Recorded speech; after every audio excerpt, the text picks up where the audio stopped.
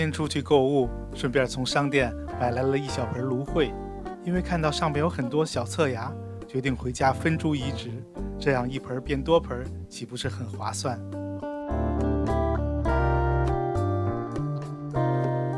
芦荟分株其实很简单，主要是给没有经验的朋友演示一下。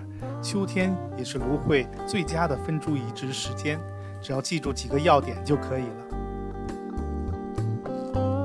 准备分株的头两天就不要给芦荟浇水了，这样分株时会更容易，同时也避免分离侧芽时出现的伤口沾到水造成的腐烂。第二个就是一定确定侧芽已经长出了独立的根系，这样种下去成活率才会高。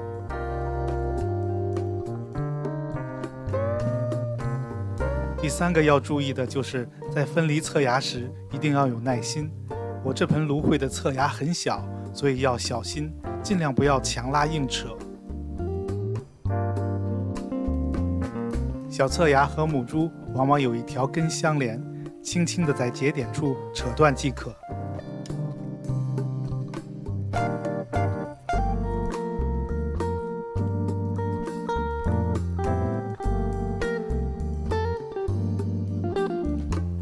分离出来的侧芽最好在通风阴凉的地方晾晒半日，让所有可能有伤口的地方风干愈合以后再种下。种植的土壤可以选择盆土和园中的腐殖土，如果有草木灰，可以再撒上一点。